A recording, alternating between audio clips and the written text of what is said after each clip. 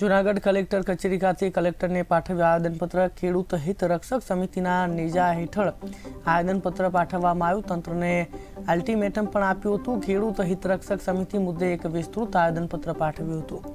TP scheme લાગુ કરવાથી ખેડૂતોને મોટું નુકસાન થશે તેવું જણાવ્યું ખેડૂતોએ.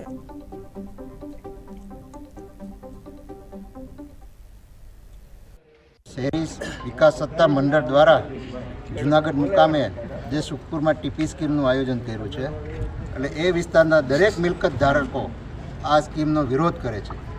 અમે ખેડૂતો વિકાસના વિરોધી નથી, પણ આમાં બે મુદ્દા મુખ્યત્વે છે કે અમારી જે મિલકત છે, એના ચાલીસ ટકા મિલકત સરકાર લઈ લે છે અને એનું અમને લેન્ડ એક્વિઝિશન એક્ટ નીચે વળતર નથી આપતું.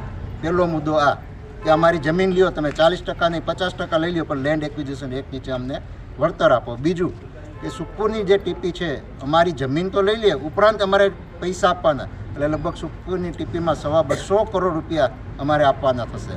આ ઉપરાંત, તમે કોઈ પણ ત્યાં સર્વે માટે મોકલો તો સુખપુર વિસ્તાર છે, ઉદ્યોગિક વિસ્તાર છે, પરંતુ ત્યાં રહેણાંક વિસ્તાર કર્યો. એટલે આવા ઘણા ટેકનિકલો મુદ્દા છે, એનો અમે વિરોધ કરીએ છીએ.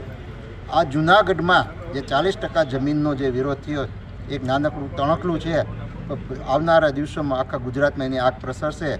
ગઈકાલે રાજકોટ મુકામે ટીપીની જે આખી મિટિંગ હતી, એનો બહિષ્કાર કરવામાં આવ્યો અને ટીપીની એ મિટિંગ છે, રદ થઈ છે. એટલે સરકાર ગંભીરતાથી આ મુદ્દાને લે અને અમને યોગ્ય ન્યાય આપે એવી અમારી